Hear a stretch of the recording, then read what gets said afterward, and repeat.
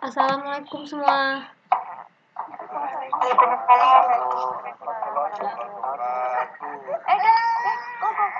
Selamat siang. Aduh, ada anak kecil. Anak siapa? Anak saya. Kok banyak yang ngaku-ngaku orang tuanya? Anak Rizka. Oh, anak Rizka. Oke. Oh, anak sendiri. luar negeri bu Wah, bule ya, bule berarti. enggak maksudnya bapaknya ke luar negeri nyari uang Oh, keluar negeri. Kalian bapaknya luar Cari negeri. koko apa? Oke. Apa kabar semuanya? Koko.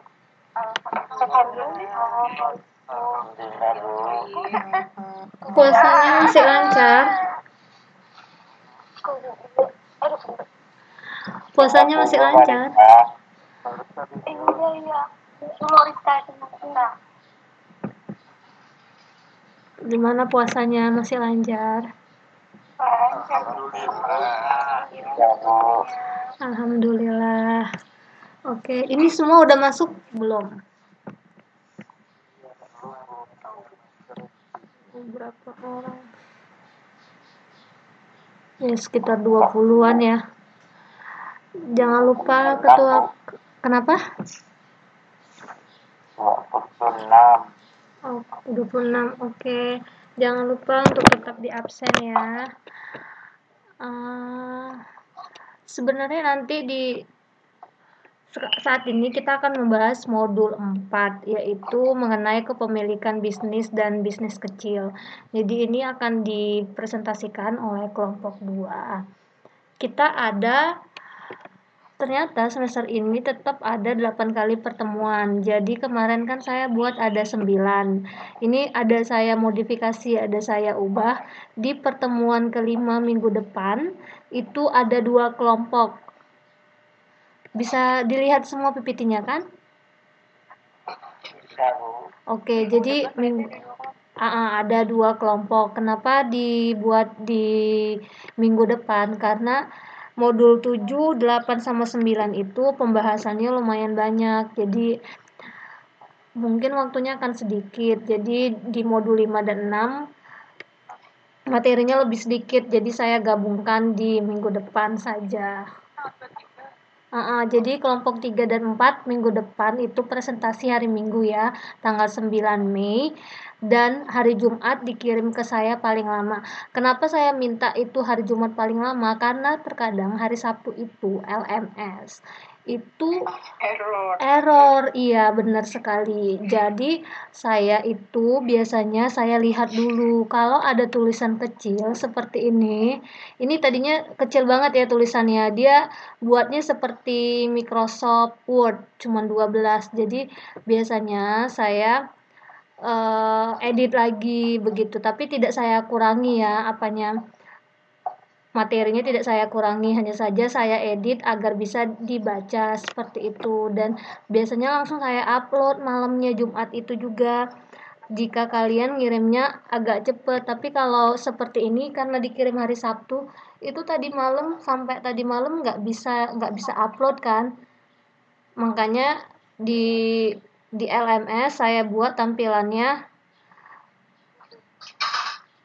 Jadi kirim link jadi kirim link seperti itu jika ada yang memperhatikan. Mungkin sekian dari saya. Karena materi hari ini tidak terlalu berat hanya membahas mengenai jenis-jenis jenis-jenis organisasi atau bisnis kepemilikan bisnis maupun bisnis kecil. Jadi eh, kita nanti bisa membahas soal pilihan ganda karena nanti ujiannya ini ada yang pilihan ganda. Jadi nanti ada saya kasih beberapa soal contoh pilihan ganda untuk kita latihan oke? Karena nanti uasnya juga ada yang pilihan ganda untuk melatih kita semua. Oke demikian dari saya. Saya akan mempersilakan kelompok 2 untuk mempresentasikan modul 4 kepada kelompok 2 saya persilakan waktu dan tempatnya. Terima kasih. Terima kasih atas waktunya, Bu. Dan kami dari kelompok 2 minta maaf atas keterlambatan pengumpulan PPT-nya, Bu. Ya, dimaafkan, sudah diwakilkan itu. Tadi ada yang jawab. Terima kasih banyak atas maafnya. Terima kasih banyak atas ma- maafnya. Oke, lanjut. Perkenalkan kami dari kelompok 2, saya Putri Yuristika, terus ada teman saya Husnul Khotimah dan Ia Kusmiati. Lanjut slide berikutnya, Bu.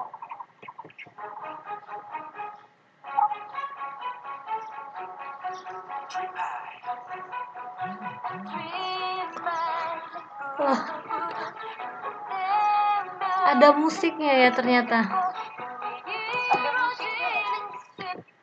Ada musik. Ya, ada musiknya ternyata. Bentar, bentar. Bentar ya. Saya nggak tahu ada musiknya ternyata.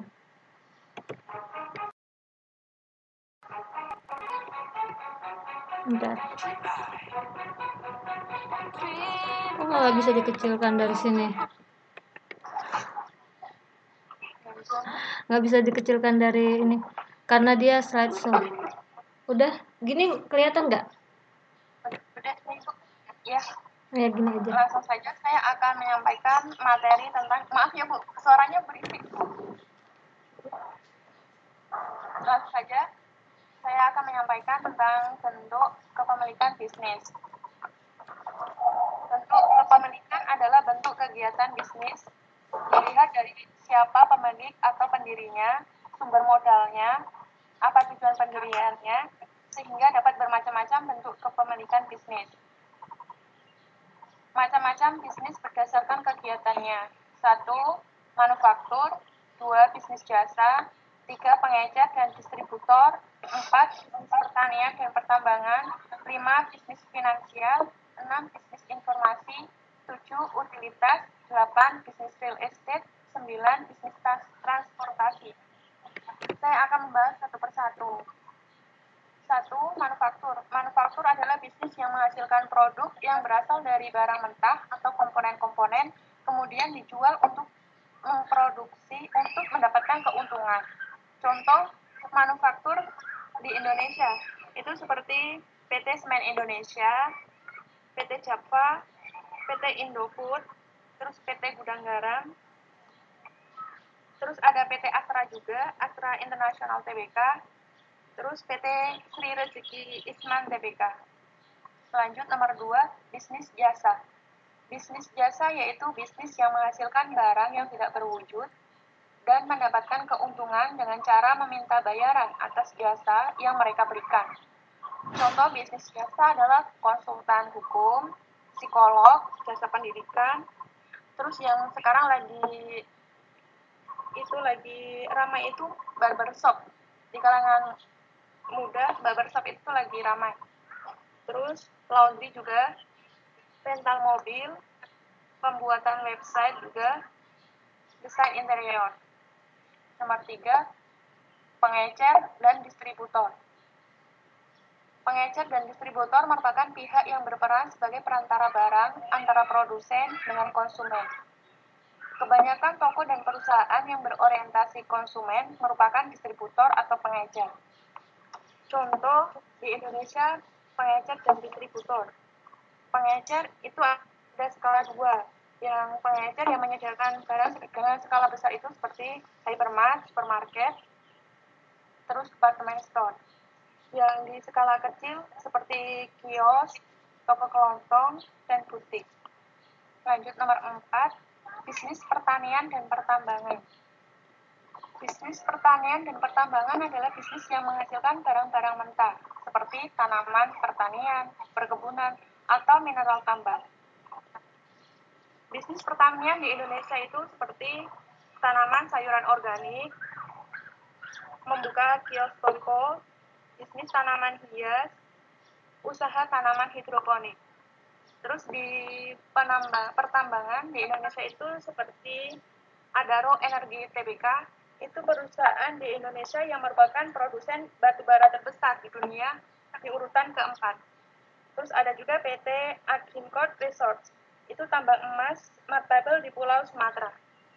Yang ketiga, PT Aneka Tambang di Pulau Sumbawa juga memiliki kandungan emas tepatnya di tambang emas batu hijau di Pulau Sumbawa.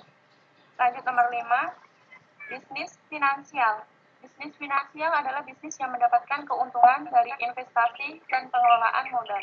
Bisnis ini dapat dilihat dari sektor perbankan, asuransi, pasar modal, pegadaian, dan masih banyak lagi bisnis finansial lainnya. Contoh di Indonesia bisnis finansial itu seperti koperasi simpan pinjam, perusahaan leasing atau kredit barang, terus bisnis keuangan, terus ada bariksa juga, ada doku juga. Doku itu salah satu sistem pembayaran secara online di Indonesia. Terus lanjut nomor 6, bisnis informasi. Bisnis informasi adalah bisnis yang menghasilkan keuntungan, terutama dari penjualan kembali properti intelektual. Bisnis informasi ini dapat dilihat misalnya pada perusahaan pertelevisian, radio, surat kabar, majalah, buku, dan berbagai jenis informasi lainnya. Contoh bisnis informasi di Indonesia itu seperti pengusaha media, yaitu pemilik industri media. Kedua, penulis buku-buku dari e-book. Itu penghasilannya berupa royalti dari penjualan produk tersebut. Terus yang ketiga, blogger spesialis. Keempat, social media response center atau bisa juga disebut dengan SMRC yaitu mereka yang mengelola akun sosial media dari sebuah perusahaan atau brand yang sedang tren saat ini itu adalah itu pengelola akun Twitter. Lanjut nomor 7 utilitas. Utilitas adalah bisnis yang mengoperasikan jasa untuk publik seperti listrik dan air yang biasanya didanai oleh pemerintah dan merupakan perusahaan yang dimonopoli oleh pemerintah. Bisnis utilitas ini terbagi menjadi tiga, yaitu dibagi menjadi empat, yaitu satu utilitas bentuk, utilitas waktu, utilitas tempat, dan utilitas kepemilikan. Nomor delapan, bisnis real estate, yaitu bisnis yang menghasilkan keuntungan dengan cara menjual, menyewakan, dan mengembangkan properti, rumah, dan bangunan. Contoh perusahaan real estate di Indonesia itu seperti Perdana Gapura Prima Tbk, PT Alam Sutra Realty Tbk, PT Lipo Karawaci Tbk, PT Pakuwon Jati Tbk, PT Ciputra Development Tbk. Nomor 9, bisnis transportasi. Bisnis transportasi adalah bisnis untuk mendapatkan keuntungan dengan cara mengantarkan barang atau individu dari sebuah lokasi ke lokasi lain. Contohnya seperti Gojek, GrabTag, Grab Taxi, Uber, dan Ojek Syari. Lanjut, next Bu. Kelihatan?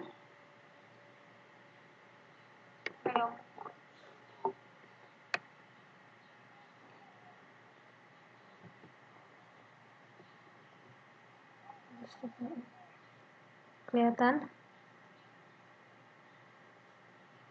Udah Bu. Tiga jenis kepemilikan bisnis. Satu, perusahaan perseorangan, kedua kemitraan, ketiga korporasi. Perusahaan perseorangan pada umumnya didirikan dan dimiliki oleh perseorangan.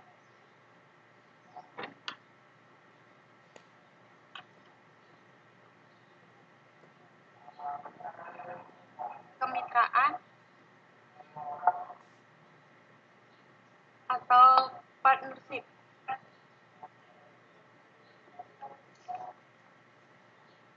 Yang ketiga korporasi.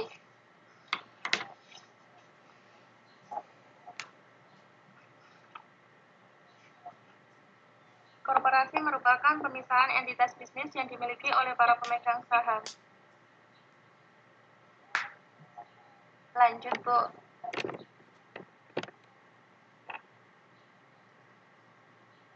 Kelihatan? Belum, Bu.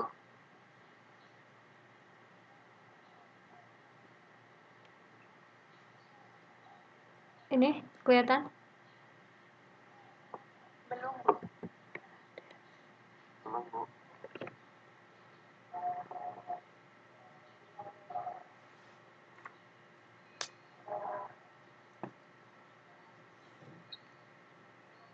Sudah?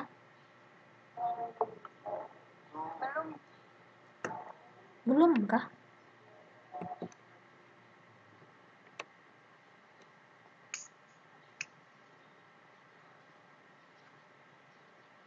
Belum.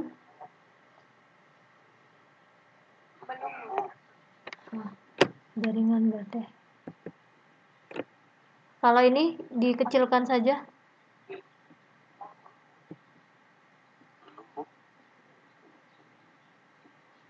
Saya stop dulu ya. Mungkin jaringannya. Bentar.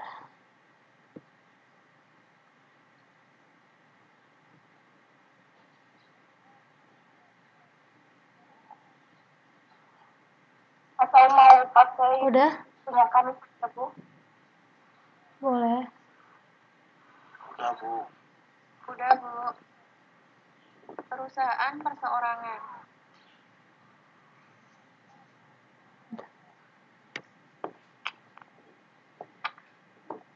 Perusahaan perseorangan itu didirikan dan dimiliki oleh perseorangan. Dua tanggung jawab yang tidak terbatas. Ketiga jangka waktu usaha yang tidak terbatas. Keempat modal kecil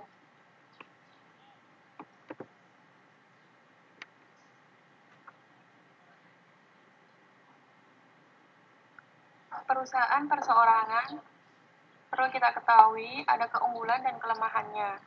Keunggulan dari perusahaan perseorangan antara lain modal tidak terlalu besar, kedua bisa menjadi bos, ketiga bangga dengan karya sendiri, keempat prosedur atau hukum sederhana, kelima keuntungan sendiri, milik sendiri, keenam pajak rendah. Sedangkan kelemahannya satu, tanggung jawab tidak terbatas. Kedua, sumber daya keuangan terbatas. Ketiga, kesulitan pengolahan.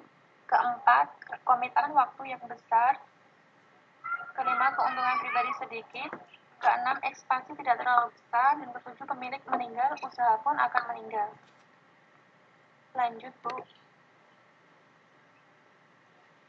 Jenis perusahaan perseorangan.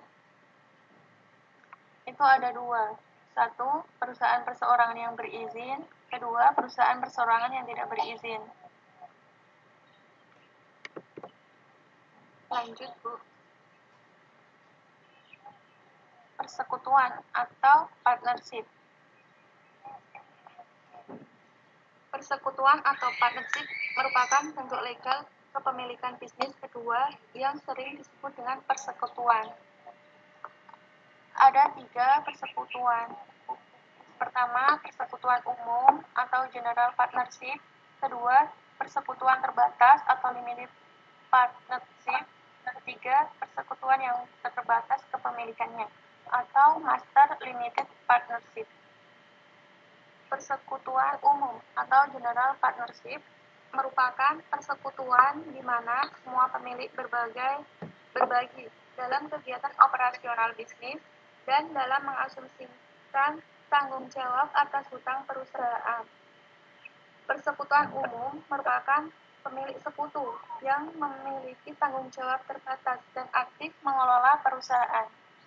Nomor dua, persekutuan terbatas merupakan pemilik yang menginvestasikan dana atau uangnya ke dalam bisnis tetapi tidak memiliki tanggung jawab mengelola hutangnya atau kerugiannya dalam investasi.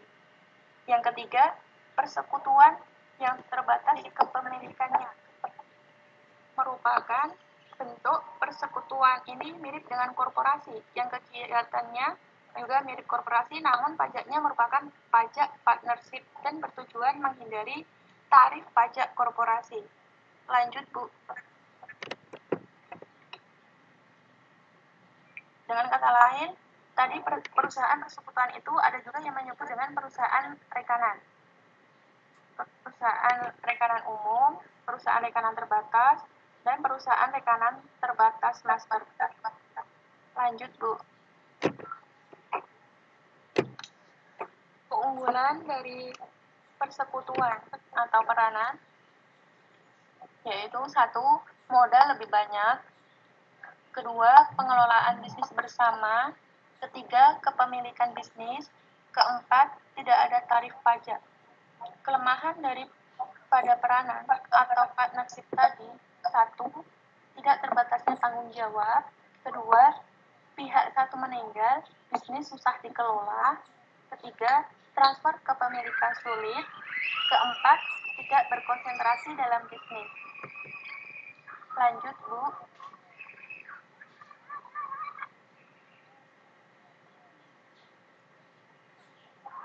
Bentuk kepemilikan bisnis persekutuan melakukan kesepakatan kerjasama.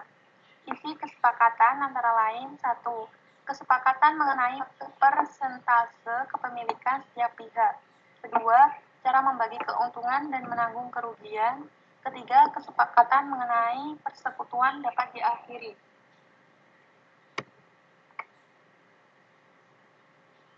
Korporasi. Pengertian korporasi adalah pemisahan entitas bisnis yang dimiliki oleh para pemegang saham. Lanjut, Bu. Keuntungan dan kelemahan korporasi. Keuntungannya antara lain, satu, keterbatasan tanggung jawab. Kedua, modal atau dana mudah didapatkan. Ketiga, kesempatan untuk meningkatkan jumlah dananya. Keempat, keberlanjutan korporasi terjamin. Kelima, perusahaan kepemilikan. Keenam, pemisahan antara pemilik dan pengelola. Adapun kelemahannya, satu, persyaratan kompleks. Kedua, perhitungan pajak ganda. Ketiga, perusahaan tidak fleksibel. Keempat, terjadinya konflik. Kelima, biaya awal sangat besar. Adapun contoh korporasi di Indonesia itu seperti PT Bank Mandiri, Bank BRI juga, Bank Sentral Sentral Asia, PT Telekomunikasi Indonesia, PT Perusahaan Gas, PT Gudang Garam, PT Bank Danamon Indonesia, dan masih banyak lagi perusahaan berbentuk korporasi lainnya. Sekian materi yang bisa saya sampaikan. Saya lanjut ke Mbak Husnul. Baik, makasih Kak Putri. Baik, saya lanjutkan ya. Jadi ada enam bentuk korporasi, yaitu yang pertama private corporation.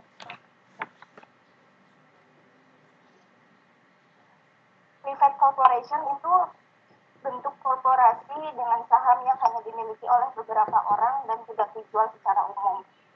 Pengendalian terhadap pemegang saham dilakukan oleh keluarga, pengelola kelompok atau karyawan perusahaan. Yang kedua, public corporation.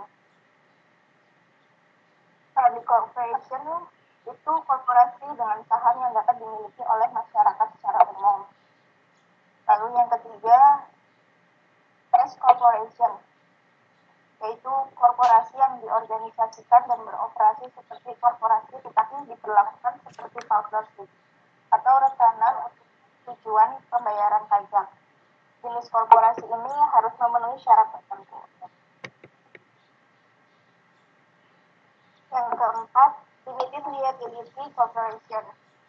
Korporasi dengan pemilik yang dikenai pajak seperti partner, tetapi juga dapat menikmati keuntungan dari tanggung jawab yang terbatas tersebut.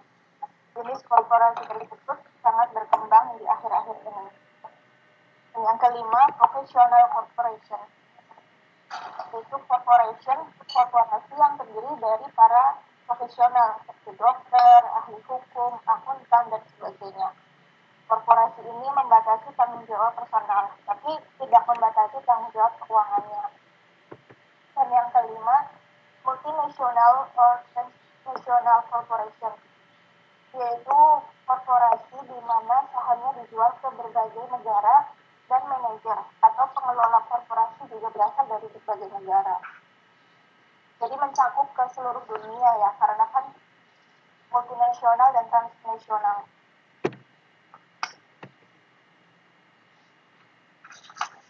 Kemudian e, menjelaskan tentang alasan berwirausaha.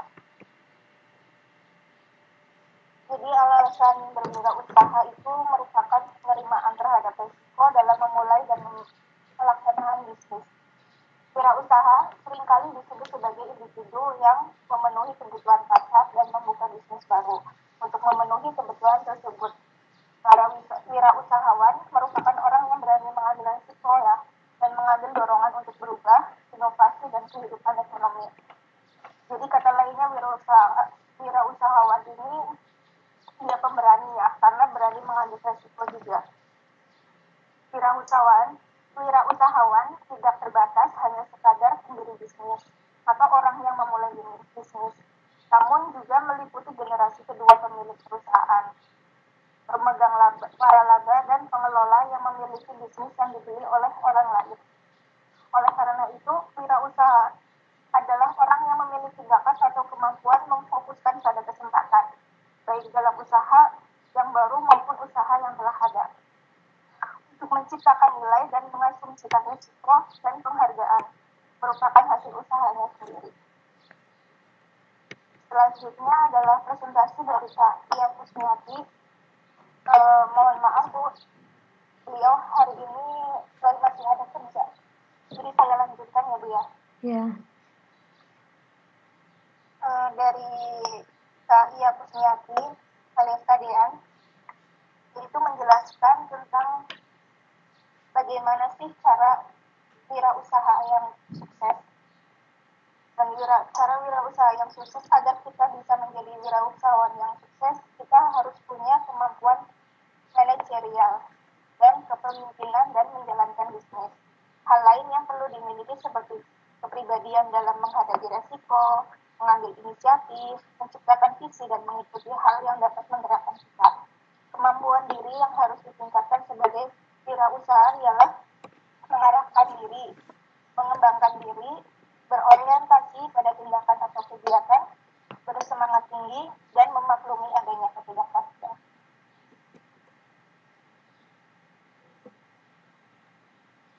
Wirausahawan, wirausahawan atau entrepreneur. Hal ini perlu diingatkan oleh para pembisnis adalah ide para wirausaha bukan didapat dari inspirasi sesaat, tapi sungguh-sungguh berpikir dalam waktu yang lama Para wirausahaan para wirausaha juga dituntut untuk menganalisis kekuatan dan kelemahan internal serta ancaman dan kesempatan eksternal untuk menyusun strategi. Pemilihan strategi bisnis dapat meliputi strategi rendah, diferensiasi atau fokus. Kewirausahaan dalam organisasi besar sering kali ditunjukkan dalam usaha dan pencapaian entrepreneur Entrepreneur adalah individu yang kreatif dan bekerja sebagai wirausaha di dalam organisasi.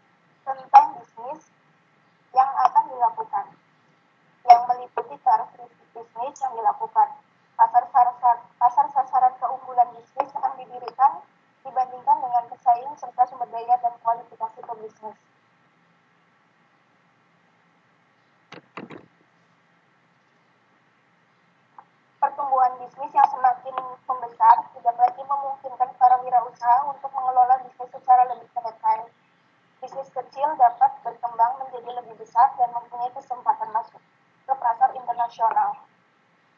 Dalam bisnis ada banyak pihak yang mempunyai kepentingan yang disebut pemangku kepentingan. Nah, pemangku kepentingan ini merupakan individu atau sekelompok orang yang memiliki harapan terhadap kelangsungan bisnis atau cara bisnis beroperasi. Pemangku kepentingan itu adalah pemilik, pendiri, karyawan yang telah pensiun, pelanggan, pemasok, pemerintah, pelaku bisnis, dan masyarakat. Jadi pemangku kepentingan ini subjeknya ya orangnya itu maksudnya.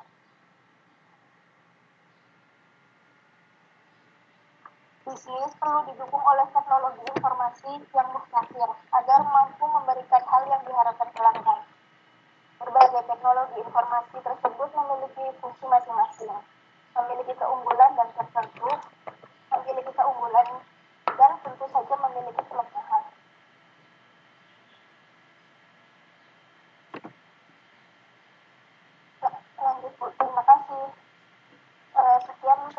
dari kelompok kami. Kurang lebihnya mohon maaf apabila banyak salahnya. Saya kembalikan kepada Bu Riris. Terima kasih Bu. Ya, terima kasih kepada kelompok dua atas presentasinya. Ternyata cuma tiga orang. Kelompok satu kemarin ada lima orang. Karena ini tidak tidak terlalu berat ya apanya pembahasannya kenapa tiga orang dan juga tidak terlalu banyak juga materinya. Tapi mungkin karena kelihatan seperti dua orang karena si Dean tidak bisa hadir namun dia sudah memberikan rekaman suara kepada saya. Saya sudah mendengarkan. Jadi untuk teman-teman sebenarnya nggak apa-apa. Misalnya kalau uh, tidak hadir memberikan rekaman suara juga nggak apa-apa. Terus juga kalau rekaman suaranya dimasukkan ke dalam modul ke ke dalam PPT sorry kepada ke dalam PPT juga tidak apa-apa. Tidak tidak jadi masalah seperti itu. Oke, mungkin ada yang mau ditanyakan kepada kelompok dua dari teman-teman tadi yang mendengarkan. Boleh Bu, saya tanya Bu. Selamat Abdul Kohar Bu. Siapa ini? Selamat Abdul Kohar Bu. Oh, selamat. Ya. Silakan. Uh, tadi dijelaskan kalau nggak salah uh, uh, Mbak Abdul Fatimah tadi ya yang menjelaskan mengenai kelemah apa namanya kelebihan dan kelemahan PT uh, kelemahan dan kelebihan PT nah ini yang baru satu bu. Nah kelemahannya bu. Jawab uh, bukan bukan uh, terserah yang ada yang tadi ada uh, pajak ganda itu loh. Uh, perseroan kalau nggak salah ya. Yang ada pajak ganda.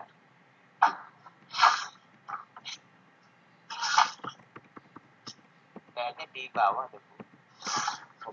Udah mau uh, berakhir tadi dari punya saya apa Pak Putri? Uh, yang terakhir uh, siapa ya tadi? Uh, terakhir saya. ya itu kan uh, tadi ada tuh uh, kelemahan korporasi. Ada uh, uh, oh. ada ada. Kalau nggak salah gitu ya. Ini ya. Kelemahan korporasi. ya, uh, persyaratan kompleks kemudian perhitungan pajak ganda itu uh, ada dua sih sebenarnya yang mau saya tanyakan. Maksudnya persyaratan kompleks itu apa? Maksudnya sekompleks apa gitu mendirikan uh, korporasi? Satu. Yang kedua maksudnya perhitungan pajak ganda itu pajak apa ya? Kok bisa ganda ya dalam korporasi? Terima kasih oke. Ada lagi yang mau ditanyakan? Selain selamat sembari menunggu teman-temannya teman-teman kelompok dua mencari jawabannya. Saya bu. Ya dengan siapa di mana? Oke, Nana yang sedang ada di tempat, silakan. Masih dalam selain keuntungan dan kelemahan kooperasi, korporasi, itu terjadinya konflik dalam korporasi. Bisa bisa dicontohkan konflik apa yang sering terjadi di dalam uh, korporasi tersebut lalu e, contoh dari korporasi yang sahamnya itu tidak bisa mana tadi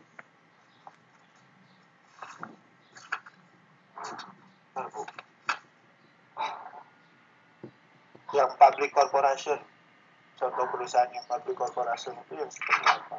Apa gitu? Okay. yang sedangkan yang kita ketahui tadi dari tadi contoh jenis korporasi dia mencontohkan bank-bank. Yang yang saya ketahui bank mandiri bank BRI dan bank apa tadi? Ya, itu sudah ada di pasar saham. Itu untuk korporasinya tapi untuk contoh korporasi public corporationnya itu yang seperti apa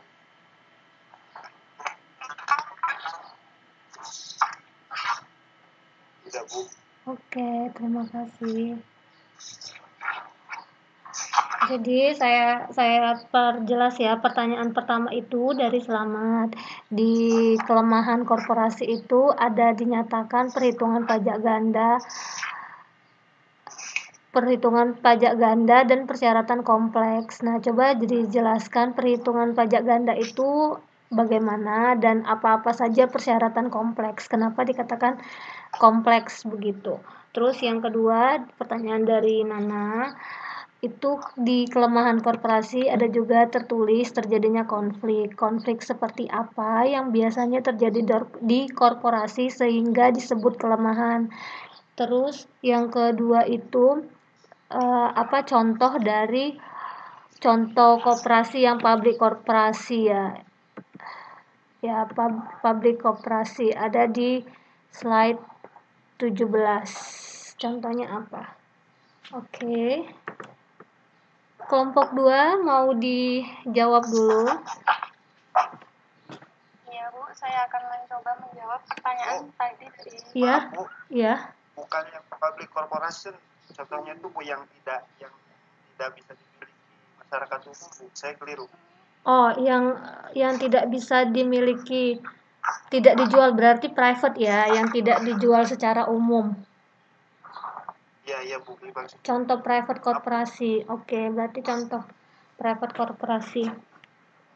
Kalau yang publik sama aja. Ya iya makanya. maaf, ya makanya saya juga agak bingung. Oke, contoh private, contoh private korporasi. Oke, silakan. Tadi mau dijawab? Baik, Kak Putri mau jawab atau saya jawab? Iya, saya akan menjawab Mbak Putri. Dari pertanyaan tadi, pertanyaan itu dari Mas Selamat gitu? Iya, dari Selamat.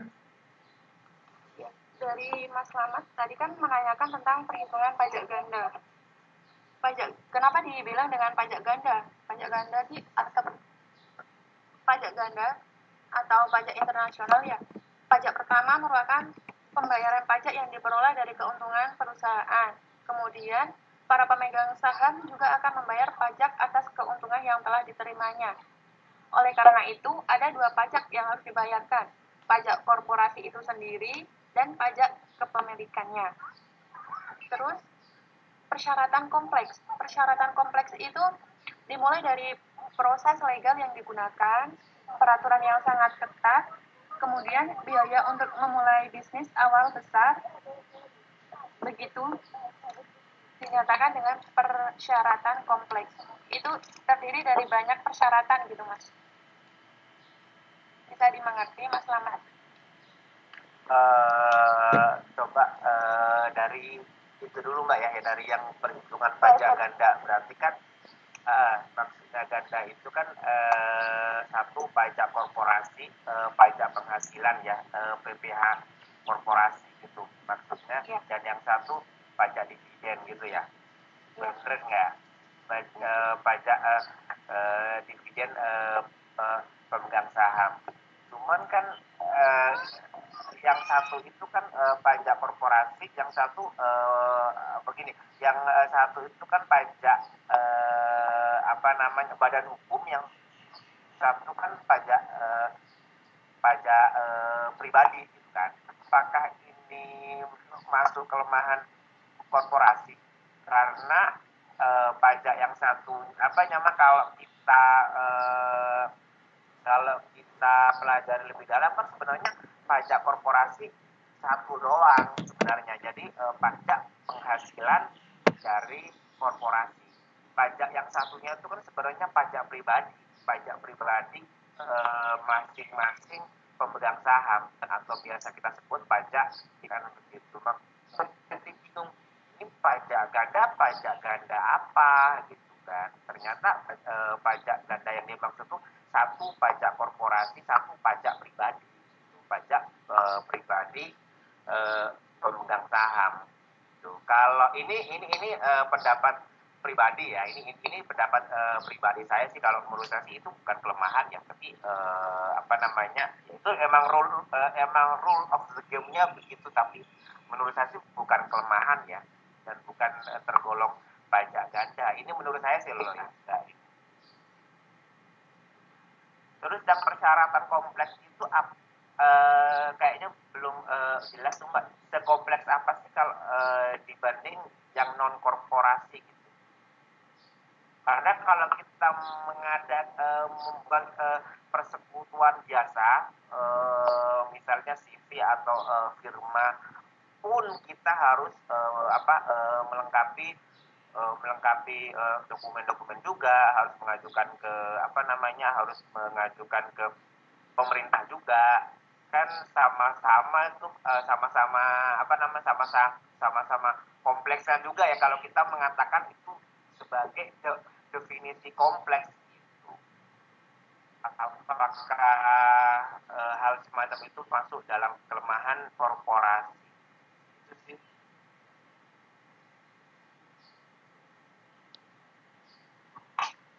Oke, terima kasih. Selamat. Kelompok dua mungkin ada mau ditanggapi atau mau menjawab langsung pertanyaan selanjutnya? Mungkin menjawab pertanyaan selanjutnya dulu ya, Bu. Oke, ya, silakan. Untuk kompleksitas ini nanti saya lanjut dulu, lanjut abis. Oke, silakan. Baik, saya akan menjawab tentang pertanyaan Secret Corporation yang tadi sudah saya jelaskan. Jadi korporasi ini kan berbentuk privat ya, dengan saham yang dimiliki oleh beberapa orang. Jadi kayak ibaratnya kita tuh punya bisnis sendiri, tidak terikat oleh pemerintah. Dan karena itulah, jadi kelemahannya banyak. Yang kayak tadi, eh, tadi pertanyaan pertama apa ya? pajaknya double ya kan karena kalau bukan dari pemerintah kan e, pajaknya itu lebih kalau perusahaan dari pemerintah itu kan pajaknya dari ke pemerintah juga kan kayak ibaratnya kita sekolah sekolah kalau kita swasta lebih mahal daripada yang negeri karena ditanggung pemerintah itu nah tentang contoh dari private corporation di sini itu perusahaan pribadi karena dia kan privat e, perusahaan pribadi private corporation perusahaan pribadi. Dan contohnya itu seperti di Indonesia juga udah banyak kayak misalkan Yamaha, Toyota, IKEA gitu kan. Kalau IKEA itu kan milik Amerika ya kalau nggak salah ya. Itu jadi contoh perusahaan private corporation atau korporasi pribadi yang saya tahu dan dari buku juga tuh, semoga bisa dipahami ya.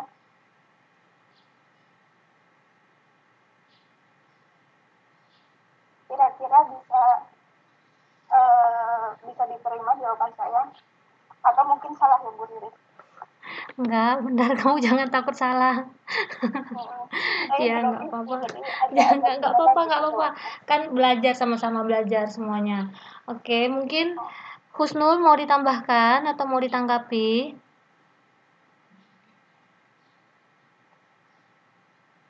Ditanggapi, silakan bagi yang mau menanggapi itu. Atau tadi kamu mau mau menambahkan tentang kompleks tadi gimana? Tadi ya.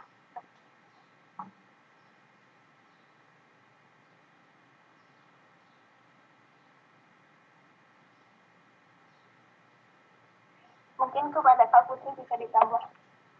Ya, saya akan menambah Mbak Putri. Jadi ya Bu, dari persyaratan yang kompleks itu. Iya. Mas bilang kan Tanya kenapa dibilang persyaratan kompleks? Karena untuk mendirikan korporasi itu kan itu perusahaan lebih dari satu orang, mas. Itu yang satu, kenapa disebut dengan kompleks? Itu karena banyak persyaratannya, meliputi mempersiapkan data pendiri PT itu siapa, terus yang kedua membuat akte pendirian di notaris, ketiga pengesahan surat keputusan menteri pendirian PT, terus yang keempat mengurus domisili kelurahan. Kelima, mengurus NPWP di kantor pajak. Keenam, mengurus izin usaha. Ketujuh, mengurus TDP atau tanda daftar perusahaan. Sehingga di, disebut dengan persyaratan kompleks.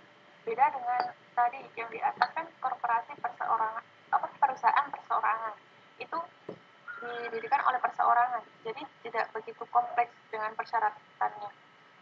Bisa dimengerti Mas Lamat?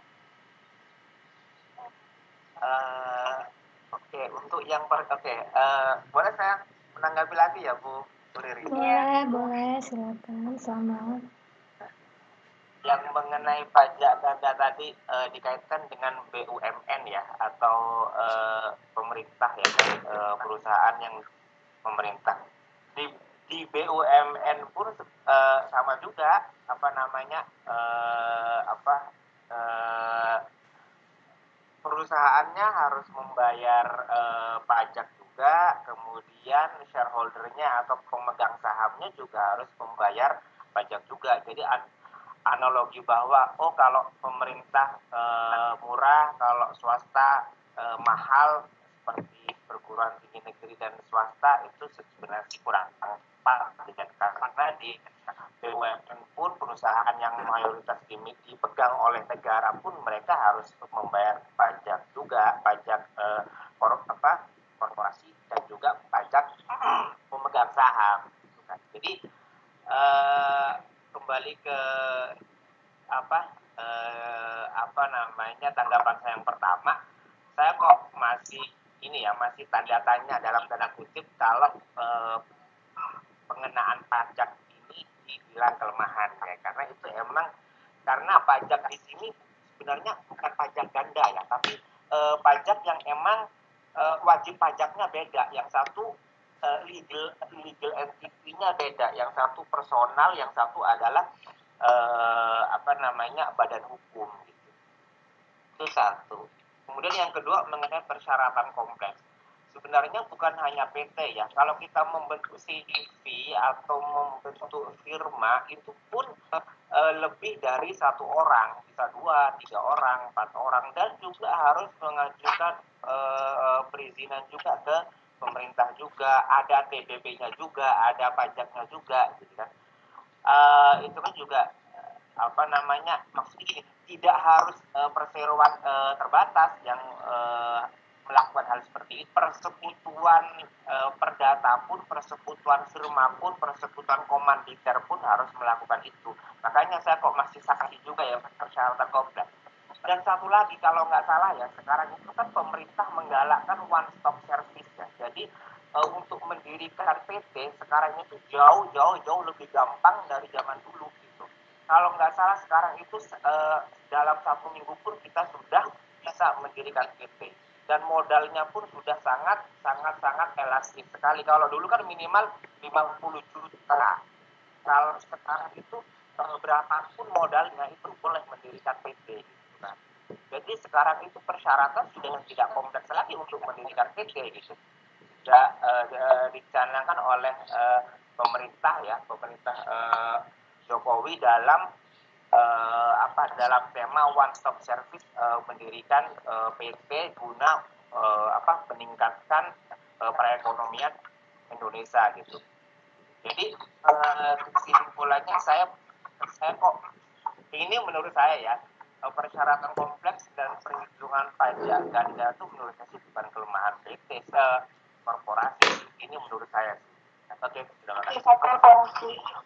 Okay mungkin saya dari Mas Slamet. Uh -huh. silakan. Dengan siapa di mana? Ya, Didik Handoko iya Didik di tempat. Didik yang sedang ada di tempat silakan. Mungkin dari Mas Slamet tadi semuanya benar tapi mungkin di sini yang ditekankan adalah konteks pendirian korporasi mungkin ya dari kelemahan dan keuntungannya. Jadi bukan dari segi aktivitasnya atau kegiatan yang ada di dalam. Dan mungkin saya menangkapnya untuk persyaratan yang kompleks ini, ini dari segi besar kecilnya.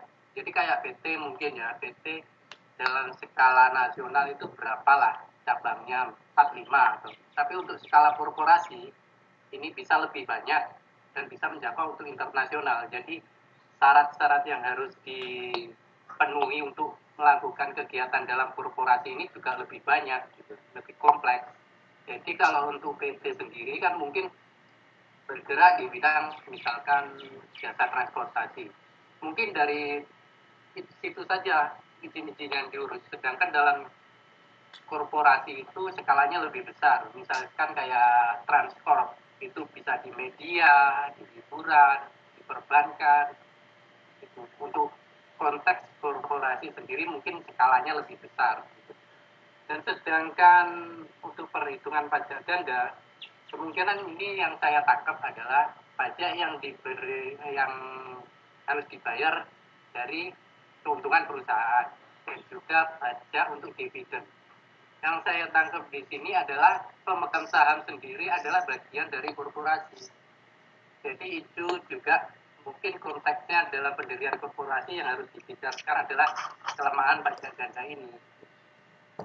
Yang mungkin itu saja kalau emang pendapat saya bisa diterima. Oke. Oke oke, sebelum kita melangkah move on ke ke lebih lanjut, kita harus menyelesaikan masa masalah masa lalu terlebih dahulu. Mari kita menyelesaikan ini dan Pertama tadi mengenai perhitungan pajak ganda ya. Perhitungan pajak ganda sebenarnya ini agak sedikit kompleks penjelasannya. Nah, korporasi ini hmm, kan dia memang mempunyai cabang di dua atau tiga negara lebih. Jadi misalnya ini, jadi kita perlu tekankan dulu ya pengertian korporasi biar dapat gambarannya. Jadi misalnya nih, saya uh, contohkan perusahaan saya saja ya tempat saya bekerja maksudnya bukan perusahaan saya milik milik saya bukan tempat saya bekerja jadi si perusahaan saya punya perusahaan induk itu di Taiwan nah dia punya perusahaan juga di mana? Oh, di Malaysia.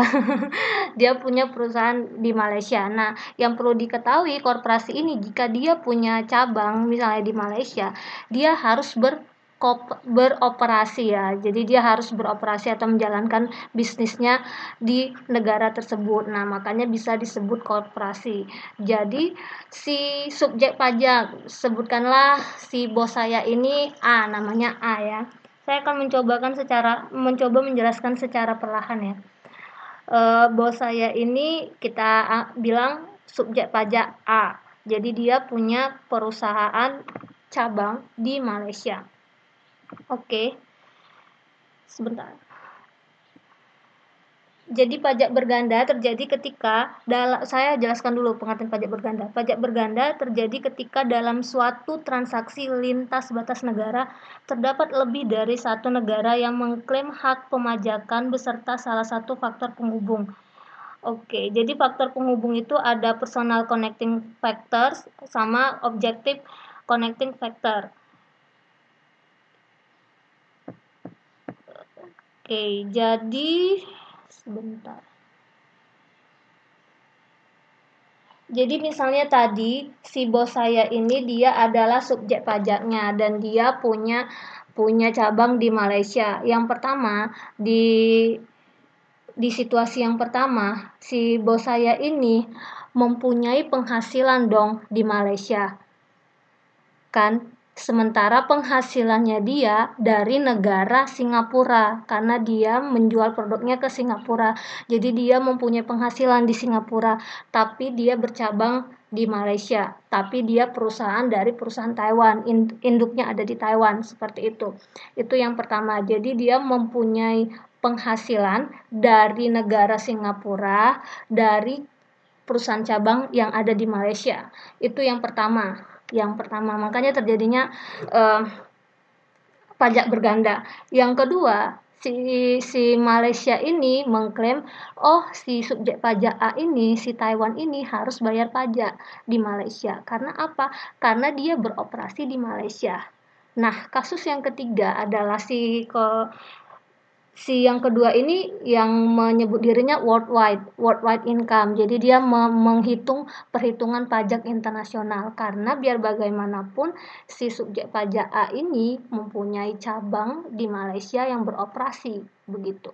Nah, sedangkan si Singapura ini mengklaim, oh nggak bisa it gitu, itu namanya connecting dari personal tadi, objektif, connecting objektifnya. Oh tidak bisa begitu, biar bagaimanapun dia menjual e, dagangannya itu di Singapura, dia mendapatkan penghasilannya dari Singapura, otomatis e, dia harus mengenakan pajak juga dong di Singapura. Nah itulah dikatakan ganda.